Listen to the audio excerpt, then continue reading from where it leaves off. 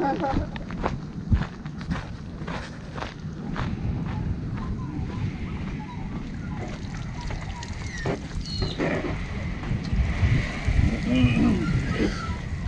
everyone, welcome back to my channel. My name is Nina and this is A Wheely Good Life.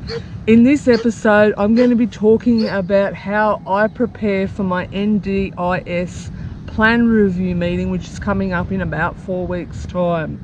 Now before I start talking about that let's address the elephant in the room, the fact that my speech is a little bit different than what you're used to. So I'm actively in a MS exacerbation phase or MS relapse as some people call it and that's affected my speech so for the last uh, couple of weeks like last week I was pretty much at home bedbound housebound and the fatigue was so bad that I was asleep for about 16 hours a day. It's getting it's like I can feel that fog sort of lifting but my speech is very bad. Maybe I'll talk a little bit more about that later but right now I'm going to um, take these guys for a walk. This is my Ibizan hound Dante and then along the way throughout the next couple of days I'm going to be telling you all my tips and tricks about how to get prepared for your NDIS plan review meeting. But also bear in mind that this is my opinions and every plan is individualized and I have a neurological disability. So if you take all that into consideration these are my words and my thoughts alone. Better get these guys walked. Talk later Hello everyone and welcome back. It's Sunday afternoon now and welcome to episode one of Hot Stuff cooking with Nini. So tonight I was going to show you I'm cooking American chicken and roasting veggies with chipolata mayonnaise. Yeah. Now part of the reason why I like HelloFresh hashtag not sponsored is that it gives even in even in the midst of a relapse of MS like I am now it gives you six easy steps to follow, pictorial and written instructions. So you can't go wrong, literally, you can't go wrong. You just follow step one through to six and even I can manage that. So I've got all my ingredients over here and I'm just going to show you what they are. I've got baby spinach leaves. I've got chicken breast, nothing like a bit of breast on a Sunday, is there? I've got my sweet corn kernels. That's a tiny tin. Mayonnaise. One red onion. Pre-chopped peeled pumpkin. Red capsicum. And a whopping big zucchini. Oh. And to spice up your life just that little bit more, we've got the All-American Spice Blend. So while I'm going to chop all this up and get into the groove, of Cooking with Nini, I'm going to have a little chat to you also about all things NDIS. So, ladies and gentlemen, pull up a chair and get ready for hot stuff. Alright, so I've got the oven preheating to 200 degrees Celsius. Bingo. Step 1. Slice the red onion into 2 centimeter wedges. Got my disability friendly, MS friendly knife. Perfect. And we're going to chop this baby up. Now, before I even start that, I was going to say to you, Whoa, what's that? Oh, that was an ant, I think. I was going to say to you that part of the, um, all right, so as part of the NDIS review process, Part of that, to me, the most important part, is actually looking back and reflecting, engaging in that self-reflection process and thinking to myself, what worked? What didn't work as well? What would I like to change? What kind of things do I really want to achieve next time? For instance, say if you had someone coming into your home and doing meal prep for four hours per week, say on a Friday, and then that freed you up to have the energy to go to the gym twice a week. So as a result, you're actually fitter and stronger than you were 12 months prior. I think that's a really good outcome that the NDIS would want to know. Um, so that, that's the first process I go through is sitting down and really thinking about what do I need? What supports do I need? What equipment do I need? Where am I at? What, what am I trying to achieve in the next 12 months or two years if your plan lasts that long? So just being really honest with myself and not looking around at other people and going, oh, they're doing better than me or they got more. It's all about the individual. So having that accountability. Did my life improve as a result of my NDIS funded supports or didn't it? And if it didn't, what needs to change? But if it did and it worked really well, kudos to you. Let's build on that. All right, I got to chop the zucchini up into two centimetre chunks. Does anybody even know what a two centimetre chunk is? I mean, like, do you get a ruler out and measure it? I don't know. Right. So the next step is we're actually going to start prepping the chicken. While my vegetables are roasting in the oven, I'm going to place my hand flat on top of the chicken breast and slice it like this in half. Oh my god, is that working? Yes, it is. Not exactly 100% even, but we're doing it. And I thought I'd tell you that speaking on a personal level, I'll tell you a couple of things that really worked well for me in my last NDIS plan. So, I would say that hands down, I thoroughly enjoyed my social and community access program, which was Bus Stop Films. Um, that went for an entire year, so I'm definitely going to ask for funding for that to be included for the second year program. Um, the other thing would be therapies, so my gym physio program. Um, it made such an absolute difference to the quality of my life being able to train, you know, twice a week with a neuro trained physio. Hang on a tick, I've got to drizzle my chicken with olive oil. So, um, the other thing too would be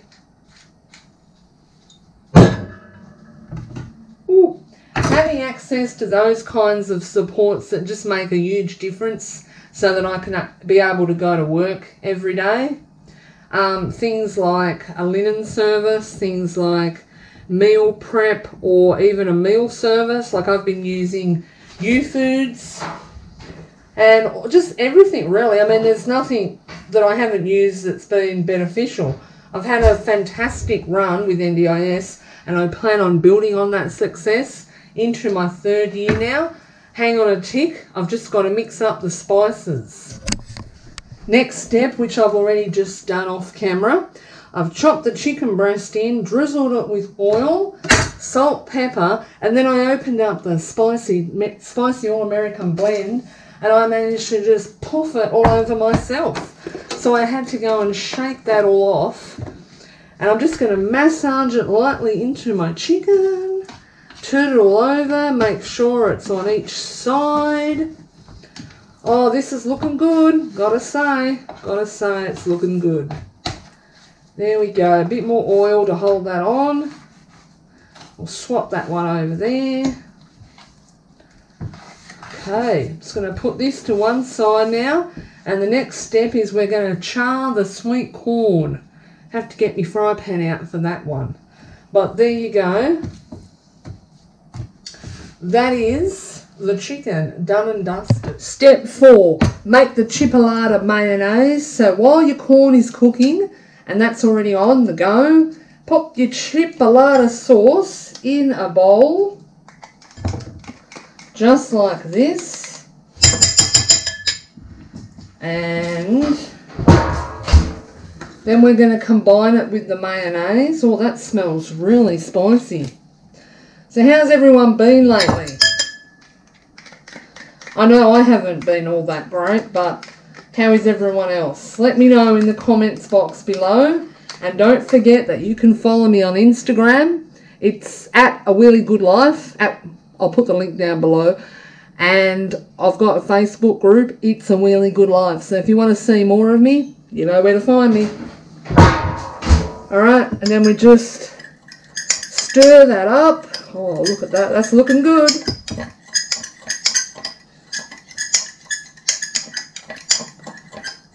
Alright, so that was done. Next step we're going to do is cook the chicken. We're just going to put the chicken in the pan. Pan's already been preheated.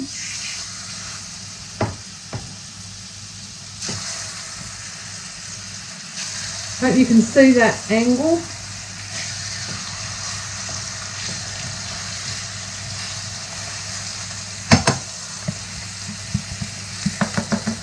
And that's three to five minutes on either side. I'll just bring the camera up so you can see. Oh, this is looking good, trick looking good. I'm a triple threat. I'm really smart, I'm hot, and I can cook. What more do you want? So there you go, that's the finished product. Doesn't that look just so totally delicious? I'm to have to get my lips around that. Woo, yeah.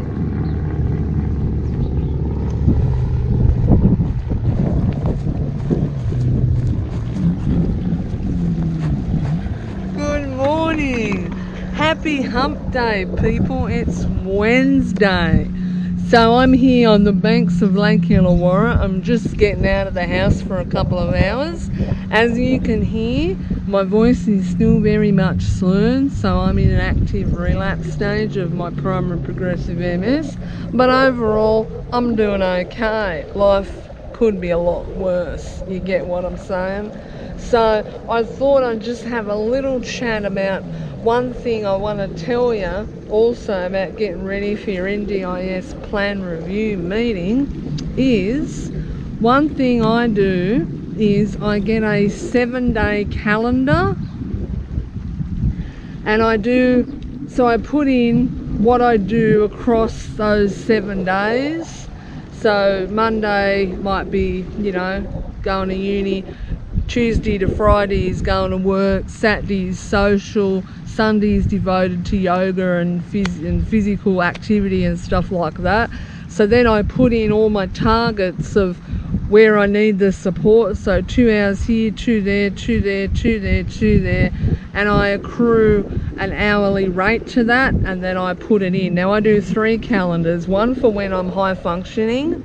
So one for when I'm not in a relapse, I'm just like living a normal average life and then I do another one for increased supports for when I'm in relapse stage or my health is otherwise affected, a downturn. And then I do a third one, so that is when I'm away, like if I'm traveling, what sort of supports would I need then? So always do that. My second thing is I would say that a participant statement is really important. So if the planner um, doesn't have a really good idea of who you are as a person, it's just going to be a lot harder. So what I do is I write at least an A4 to two A4 pages about what I do and, and who I am and how I live and all that kind of stuff. But I also read that out to them before we start doing the planning meeting. I also include a photo album of all the things that I've done during the year and how I link each of those photos back to a goal and the outcomes and what I've achieved because NDIS is evidence-based scheme. Trust me on this. Evidence counts. So, there we go. I've got my photos, I've got my participant statement. What else do I need? That's a good start. Um, We'll talk a little bit more about this later. But, oh, before you go, I've been op shopping too. I'm going to show you what I got. Just because you care, you know. So I went and I got this gorgeous top. Oh my god, it's like a caftan thing from a brand called Curvy. Five dollars in the op shop. I mean, blow me away, Sally. Look at that. You'll be able to see me from Mars wearing this. And then the second thing I got was this was $3.50. It's like a, it's also like a full length caftan from a brand called Curvy Connection. And that is, I mean, look at that. Seriously, how beautiful is that? So in summer, I'm going to pair that with a cinched belt, some lovely sandals and my rockin' cowboy hat. And there you go, who's a sexy girl? Me! Alrighty, I'm gonna just drop my chair down now.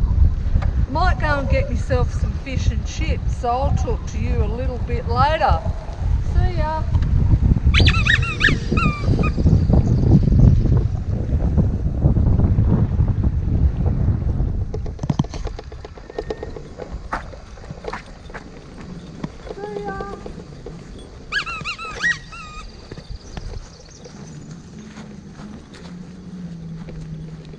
Good morning everyone. It's Thursday now and I'm just rolling along through the streets of my suburb. I actually just had an appointment with my occupational therapist. We're getting my care plan ready, care needs plan ready.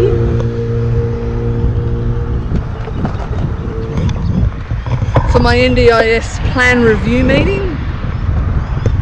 So I was finalising some more details and just having a chat to her about any reasonable accommodations that need to be made when I go back to work after this relapse. So my final sort of point that I'm going to make about how to prepare for your NDIS plan review meeting is so I think that the people on your team, like your care, your therapists. So the therapists on your team, like your occupational therapist, your physio, you need to keep them in the loop. Like you always need to be in touch and letting them know how your condition is fluctuating and changing and how that's affecting your ADLs, your activities of daily living. And then um, I always personally choose therapists not just based on their skills um, obviously that's a big consideration, but I also choose them based on the fact that they need to be able to write me some really cracking good reports for my NDIS plan review. When they write the report and they email it to me, I read through it, I double check and triple check, and if they if it's not to my standard, I ask for them to redo it. I also make sure that they link everything back to the goals and whether or not they've actually been achieved. And if the goals have not been achieved why? Um, and I also get them to put in like okay so say for instance I'm asking for one hour of physio per week. I need them to say look without that one hour of physio funding per week this is what's going to happen to Nina i.e her mobility will decrease.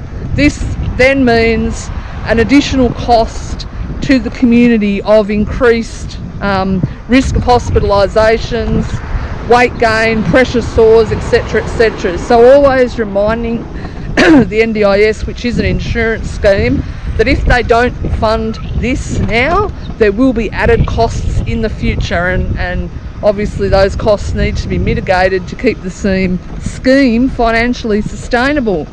Now, I really want to say that I hope that this vlog has been of some value.